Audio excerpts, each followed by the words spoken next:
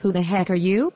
Hello Taylor, my name is Allison Hill, but you can call me Ally if you want to. Anyways, I'm just here to get you out of here since you hate staying in jail.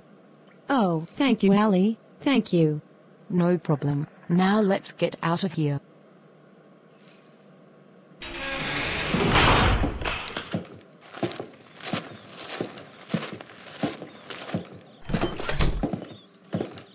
Ah, home sweet home. Thank you, Allie. My pleasure. Now I'm going home. See you around.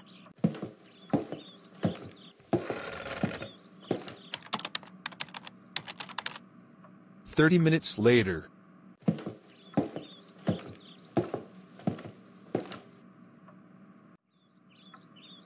Taylor, what are you doing here? We told you to stay in jail for robbing a gas station.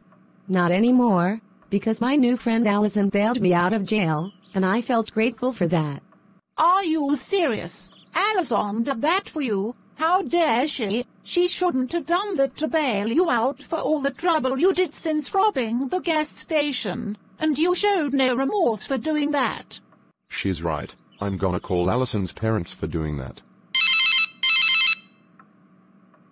Hello, this is Mr. Bell speaking. You won't believe what your daughter did. She bailed our daughter Taylor out of jail when she showed no remorse for robbing a gas station. Can you ground her please? Alright, thanks, bye. Taylor, since you got bailed out of jail by Allison, you're grounded for three days. Go to bed now, and do not come out until we say so.